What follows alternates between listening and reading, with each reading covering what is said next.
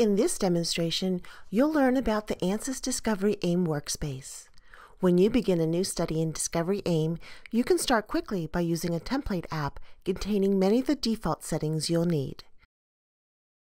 This is how the workspace looks after you've imported your geometry in a Fluid Flow template.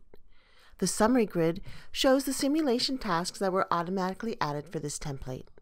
An end-to-end -end representation of these tasks is displayed in the project summary tree and the workflow tab of the view panel. Using the Workflow tab, you can easily manage the simulation by right-clicking on a task to add, delete, or duplicate a task. Each task is a container for all the objects and settings for that task. The starting template determines not only the task sequence, but also many of the values you will need to successfully complete your simulation. To set up the simulation, you can display and edit setup values through property panels or data panels. The difference between the panels is the time to set up and level of control over your simulation properties.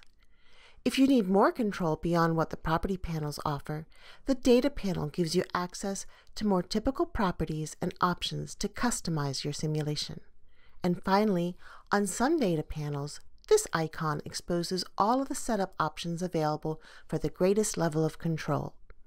Using a template combined with the Workflow tab and the Property panels, you have everything you need to successfully create a simulation. Discovery AIM uses color cues to communicate the simulation status. Red draws your attention to items that must be completed to move forward, yellow indicates that you need to update the task, and green confirms that the task is up to date. You'll notice that some buttons or menu items are highlighted in blue. Blue is a cue for a suggested next step. In addition to color, Discovery AIM communicates with you through symbols and messages.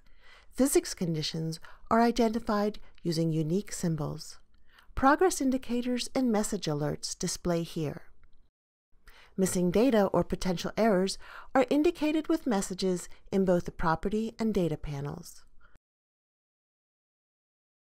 Alerts and messages are displayed in the Messages tab, and by clicking on the link, you navigate directly to the Data panel where the change is required.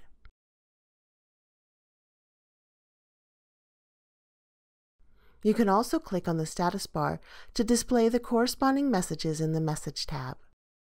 The Transcript tab on the View panel displays text output from the solver. Charts specific to the physics type are displayed in the Solution Monitors tab. You can visit the Start page at any time and then return to your study. These arrows behave like browser arrows, so you can move backwards and forwards, revisiting the objects you have already set up. Or use a project summary tree to go directly to an object. You can also use the navigation bar to display a list of properties within a given category or jump to a specific object within a task. Now let's demonstrate some of Discovery AIM's graphics tools. Several tools are available to pick specific components of the model with selection filters. For instance, select only bodies, or select only faces, or see different views by hiding the edges, or faces, or making the model translucent. Add a point, line, or plane to help interpret results. The topology selector makes easy work of selecting an internal or hidden geometric entity. Explore low fidelity results using the Preview Results toolbar.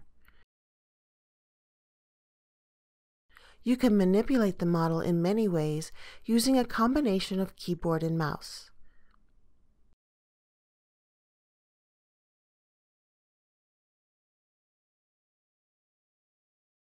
Help in using Discovery AIM is easy to find. Just look for the question marks.